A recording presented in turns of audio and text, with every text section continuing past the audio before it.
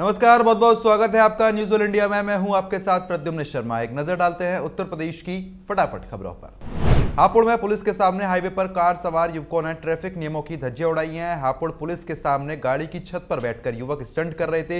हुड़दंगी आठ से दस गाड़ियों में स्टंट करने घर से निकले थे। स्टंट का वीडियो सोशल मीडिया पर जमकर वायरल हो रहा है। अमरोहा के धनौरा तहसील इलाके में राष्ट्रीय लोकदल के किसान महापंचायत को संबोधित करने पहुँचे जयंत चौधरी ने कृषि कानूनों के विरोध में केंद्र सरकार पर जमकर हमला बोला।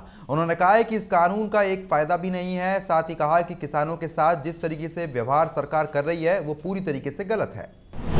उत्तराखंड में हुई त्रासदी के बाद उत्तर प्रदेश सरकार ने भी गंगा के किनारे के सभी जनपदों को हाई अलर्ट पर रहने के निर्देश जारी कर दिए हैं। इसी कड़ी में अमरोहा प्रशासन भी अलर्ट पर है। अमरोहा जिलाधिकारी उमेश मिश्रा, पुलिस अधीक्षक सुनीता सहित प्रशासनिक अमले ने गंगा किनारे बसे गाँव में खुद मौके पर जाकर लोगों को दूर रहने की सलाह दी है।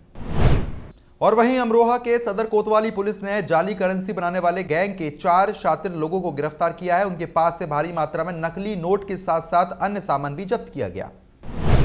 खबर बरेली से है, पुलिस ने तीन वाहन चोरों को गिरफ़्तार करके उनके पास से दो चोरी की गाड़ी बरामद की है। पकड़े गए चोरों में एक थाना शेरगढ़ का जोमनिया जागीर का रहने वाला है। वहीं दूसरा थाना भोजीपुरा के गाँव जोधपुर का रहने वाला है। मैनपुरी के बेवर थाना क्षेत्र में पाँच साल की मासूम बच्ची के साथ रिश्ते के चाचा ने दुष्कर्म किया। गंभीर हालत में मासूम को सैफई मेडिकल कॉलेज में इलाज के लिए भर्ती कराया गया है। घटना की सूचना मिलते ही मौके पर पहुँची पुलिस ने पीड़िता के पिता की तहरीर पर पुलिस ने आरोपी के खिलाफ मुकदमा दर्ज किया।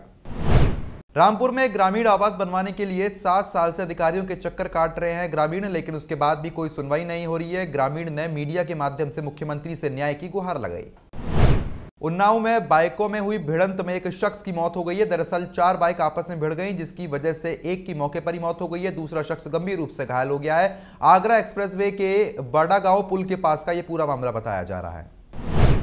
गाजीपुर में सीएम योगी आदित्यनाथ ने जनता को संबोधित करते हुए कहा कि पूर्वांचल एक्सप्रेस वे का अप्रैल तक शुभारंभ किया जाएगा, जिससे यूपी में रोज़गार के अवसर बढ़ेंगे। साथ ही उन्होंने कहा है कि यूपी में माफिया संस्कृति खत्म हो गई है और यूपी सरकार हर तबके के लिए काम कर रही है। संबल से खबर है, पुलिस ने मादक पदार्थ की तस्करी और बिक्री करने वाले ड्रग गैंग का भांडाफोड़ कर दिया है। पुलिस ने ड्रग गैंग की महिला सरगना समेत चार आरोपियों को गिरफ़्तार किया वहीं पुलिस ने इनके पास से भारी मात्रा में गांजा डोडा बरामद किया। सिंगरौली ज़िले में आयोजित ग्रामोदय शिविर में लोगों द्वारा अपनी समस्याएँ दर्ज कराई गई। इसी कड़ी में ग्रामीण हज़रत मोहम्मद ने पंचायत पर गंभीर आरोप लगाते हुए बताया कि पंचायत द्वारा रोज़गार नहीं दिया जाता है, जबकि उनके जॉब कार्ड में उपस्थिति दर्ज की गई है।